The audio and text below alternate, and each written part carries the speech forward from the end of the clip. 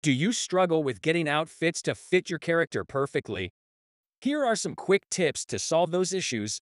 Method 1. Edit Mesh. Select the outfit you want to adjust. Then, switch to Sculpt mode. Use the Pull tool to adjust the mesh or the Smooth tool to even it out. Method 2. Hide Body Mesh tool.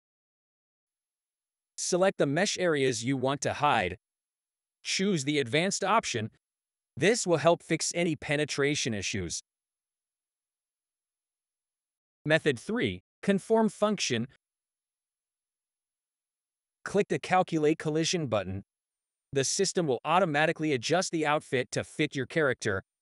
A word of caution. While you might be tempted to push the mesh of the character to fix outfit issues, this can lead to visual defects. I don't recommend this method, I hope these quick tips could help you to solve the CC4 outfits issues. See you soon.